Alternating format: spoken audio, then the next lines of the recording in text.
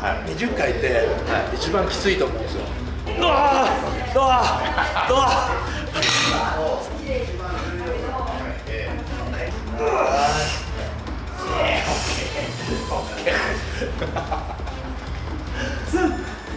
ちなみに大会の時じゃない時炭水化物だと何グラムぐらい摂取すこれは冗談じゃない。あのテレビでやってるように大げさじゃないですか。これは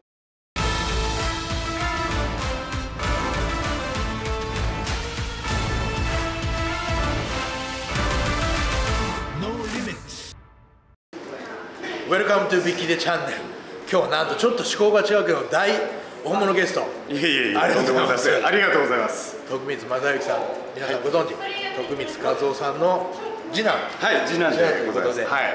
まあ皆さんご存知テレビでね俺もだけどずっと離れてるけれどもテレビであの見させていただいてなんと先日俺が、はい。まあ、居酒屋さんで。そうです。はい、居酒屋さんで。もうあれ夜中でしたね夜中です。ねもう12時ぐらいだったと思いますけど、はい、その隠れ家さんにて。はい。そこは常連でいつも行ってる。あいつもお邪魔してるんですけど。まあ今だからぶっちゃけで言いますけれども店長からビッグ日で来来日してるよっていう電話がいきなりかかってきて。でその以前にあの実はあそこのオーナーのもう一人いるんですけどその方が山岸さんを西新宿で見かけた。西新宿で生息して そうそうそう。それでこの辺に日本にいらした時にいるんじゃないかって話そしたらまさかの僕が常連のところにいらしたって。もう今日はお酒飲まないと決めてたんですけど駆けつけましてずっと背中越しにうわそうそう。椅子からはみ出てる体でその後、えー、ご縁いただきましたまた共通の知り合いも残りましたし、ね、そうですね、えー、なのでもう急遽、はい、お会いしたのが数日前で、はい、もう早速 YouTube に来ていただいて今日はなんといつも気にしてるというか、はい、どっか大きくしたいというかあもうこれはねもう圧倒的に腕ですね。男だったら腕。腕がねあの太結構ちゃんとやってるんですけど太くならないんですよ。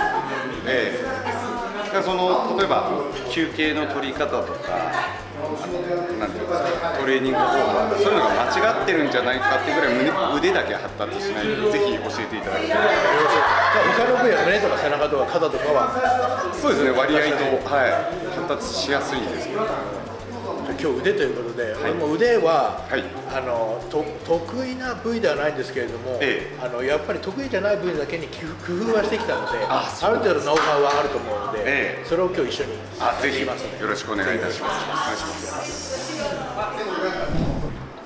あのカーやるときって、はい、手首の硬さっていうのは肩の硬さもあるんですよね、はい、だから肩はこれ回転しないとやっぱりどうしても腕がこういうふうにここ回転するには肩を回転させなくちゃいけないんでここがローテーターカーブが特に硬くなってくると、はい、この海外が難しくなるので、多分それもあると思うんですけどまあ、今日は安全のためにこのイージバーを使います、でまあさっき徳明さん実は私の YouTube チャンネルを見ていただいてるので、まあ、ストレートバーの方が二頭筋の動きを考えると、屈曲以外にこの海外というこう外に抜ける動きがあるので、まあ、バーストレートバーの方がこういう動き近い動きがあるので、まあ、よりフルレンジに近い動きをするんですけどもちろん、あのそれその限りではなくて手首がこう回転しなければ肩がやっぱり硬ければこれ痛くなっちゃうので、このバーで、はい、このバーだと肘が開きやすくなるので、まあ、あそうです。手首の負担が、あの減ると、はい、これでこのまままっすぐ変わるぞと。で肘を動かさない、はい、で手首も固定。手首もこれ動かさない固定します。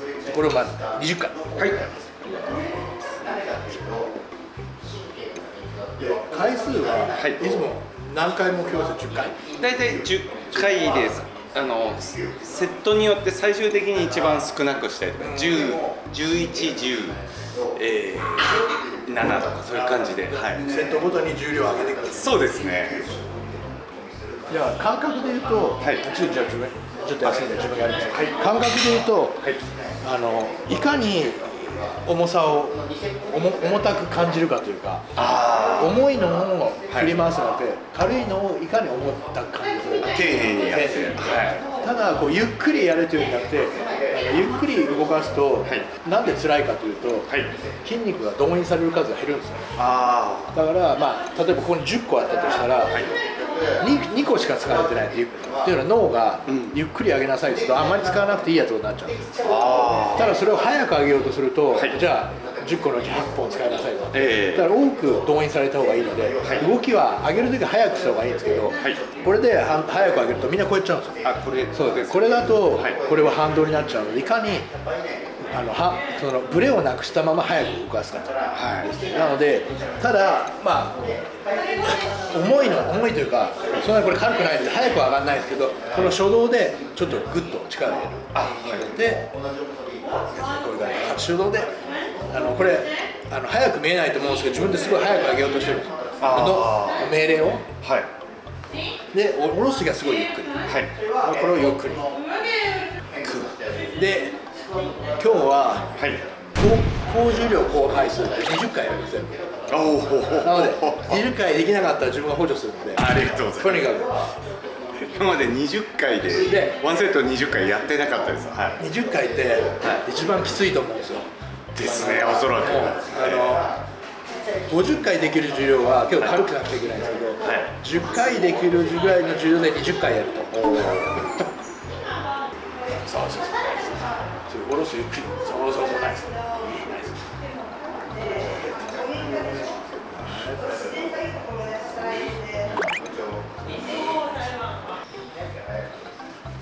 筋。の、どこの筋肉もそうなんですけど二頭筋って特に、ちあの縮んで、はい。ここが引っ張られると肩が前に出てきて肩を痛めちゃうので、え二頭筋特にあと大胸筋は、特にストレッチをさせたり、はい。だんだんだんだんトレーニングしてるとこういう風になってきて、そうするといろいろな怪我が出る。ので、え。これを伸ばして開いてこういう状態にしてから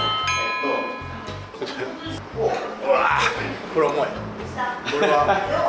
ー、山木さん。が重いって言ってるの徳光さん何キロですか体重？65じゃかないかぐらいです自分でもう100キロ近くあるからはい。その同じ体同じ重量やると大変ですよ。これで今10回です。はい。かなりきついわ。俺冗談じゃないこれ。大体あのいつもジムだジムだと30キロでまあ10回。があ30秒10回できたらいけます。本当ですか？いきます、そうそうそうまあいけますますここから下ろすのかな下ろすのそうそうでも下ろすの下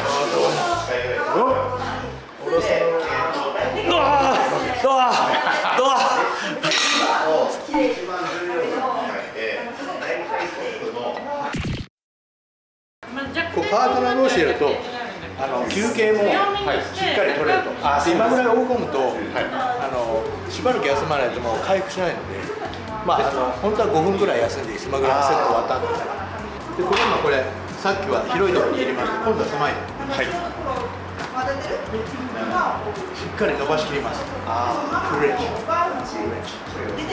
こでどうしてもこうやってやりたくなるんですけど、これだと効果が薄いからやっぱりフルレンジ伸ばしてただ人によってはここで負荷が抜けないうちにやれっていうこれは間違いじゃないですけど、ええ。今日は伸ばしきって一旦ちょっと伸ばしてこの辺の近くまで刺激を与えておいてあげる。あさあ。あし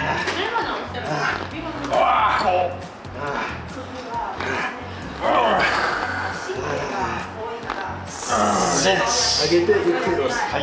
上げるの手伝ってもらってゆっくり下ろすゆっくり下ろすあと1回ですねはい。ゆっくり下ろすゆっくり下ろすちょっとすみません腕触ってもい。い。ですかめっちゃ張ってますよややばい。ですこれやばい。ですやばい。ですゆ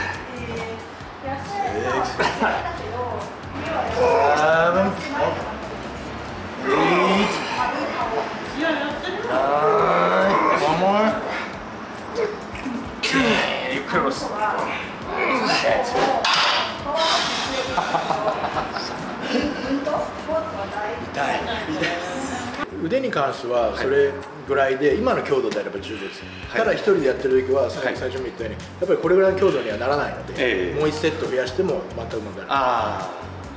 腕と肩の日この分け方は正解ですか？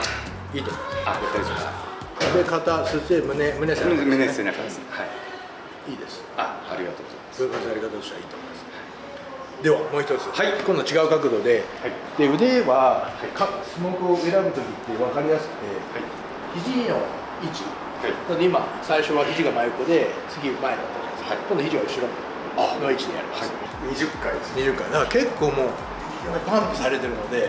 はい。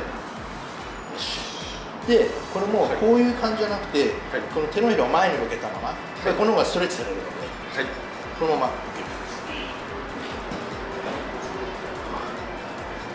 海外を意識というそうです海外します。小指でいった方が小指をこう海外しますどうしてもこれこういうふうに上げやすいんでこういうの上げた方があの上腕筋を使えるので、はい。まあ、筋力この方がパワーが出ます。はい。ただこれだけで二頭筋をアイソレートさせます。はい。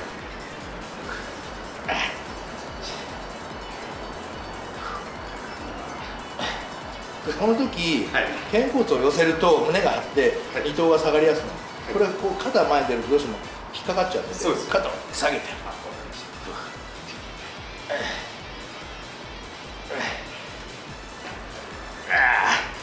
かなり痛いです。ですよね。痛いです。これ10キロでやったら結構大変な大丈夫です。大丈夫ですありがとうございいやどうですか？筋力がすごいですね私とだって体重がだってはい。30キロは違うじゃないですか、はいそれで同じ重量でいやあのアシストしていただいてるから。だと思いますおお一回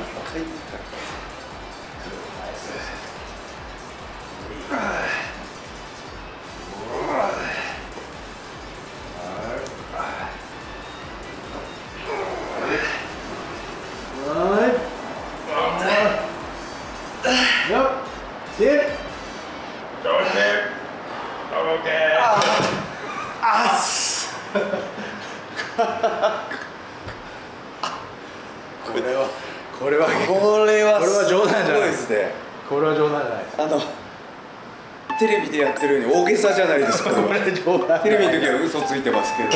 今本当です。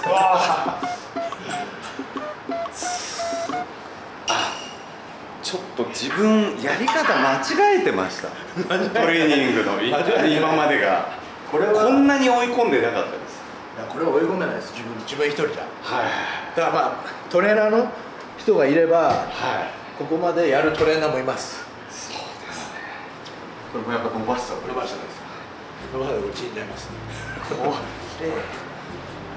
ちなみに大会の時じゃない時フリあの、まあ、フリーの時た、えー炭水化物だと何グラムぐらい摂取なさってますその時の状態によるんですけれども、はい。高い時で 500g ああで低い時で 200g あー。なのであのトレーニングをしない日はそのトレーニング前中後のさっき言ったデキストリとか、はいはい。あれを取らないので炭水化物が多か分下がるんですけど、ええ。なのでトレーニング前中後に特に炭水化物を集中させると。はい。でまあその後はトレーニング後とか炭水化物を取るんですけどトレーニングしない時間帯はあまり炭水化物を取らないんですなのでその状態では特に起きた朝起きた後は、あはい。本来であれば体脂肪が燃焼しやすい状態なんでえそこで炭水化物を取ると結局それがエネルギーになる。えはいなので自分がおすすめするのは、意外と朝とかはその後トレーニングするすぐするなら別なんですけども、ええ。普通に生活するのであれば炭水化物は取らない方がいい。ああ。そうすると体脂肪が燃えやすい状態。ええありがとうございます。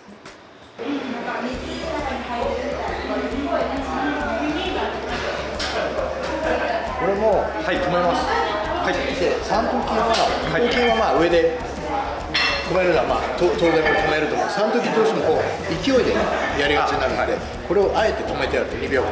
はい。これも20回ですね。はい。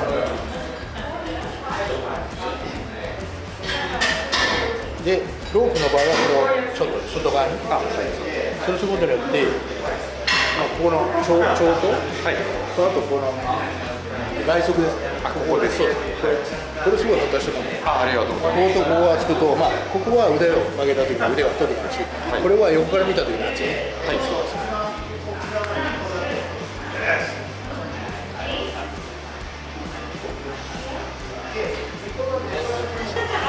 こで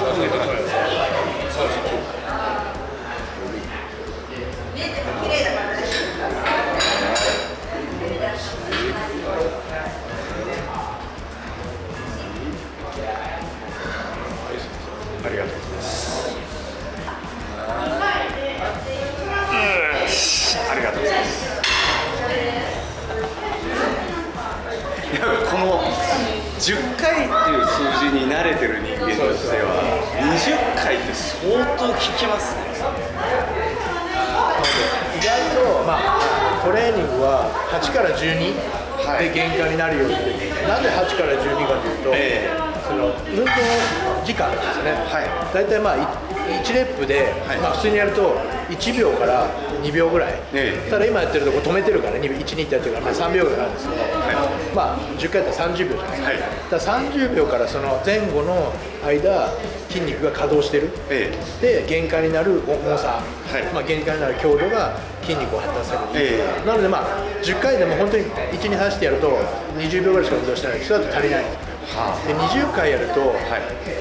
あの30秒長くで、ええ。1分弱ぐらいの運動時間になるので、さらに乳酸が高まるんですけど、い。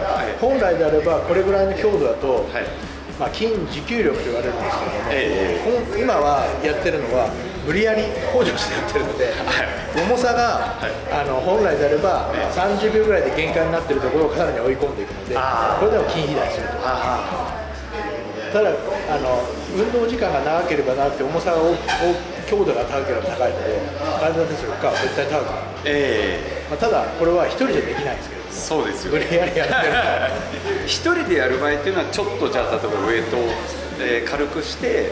まあきょそのあのあのフォームを維持してやる。ああただ、はい。あのこれだとやっぱり限界はあるんですよ。ねそうですよね。すると、はい。まあ、セットを増やしてやるとかあー。ある程度本来ではこれでこれでやれば2セット3セットでいいのを5セット6セットやる必要がある。なってるんですよね。あじゃあ強度を落として、えーまあ、一人でボボリュームを増やすという感じですねちー。もう一丁ふー。もう一丁ういは。い。二うい三三い。い。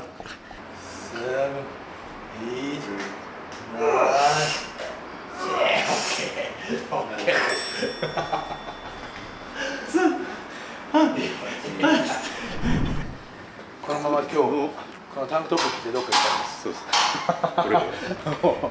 そうそうそう。それです。そう特に3頭がでかいね。3頭の方が育ちやすいですよね。特に3頭はこの外側がすごい発達してるから、ええ。この長頭あの肘を閉じてやるはい。形で肘を開くとこの外側に来るので、はい。肘を閉じてやるフォームでやると同じ種目でも長頭に入りやすくなるので、そこを少し入れていった方がいいかもね。あありがとうございます。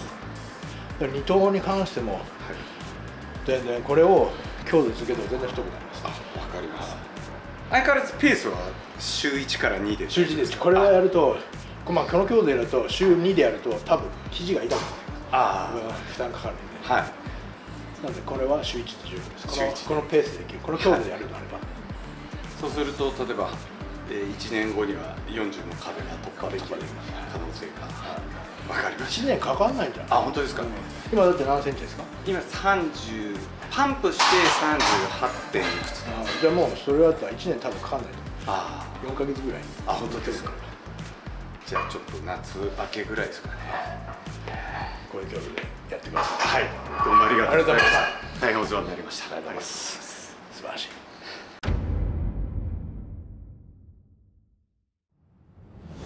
トータルで1234セットやるわけだけどその4セット目にこれは4分の1ティースプーン。体から離さない。トレーニング前中後特にお勧めしてるのはトレーニング後やはり。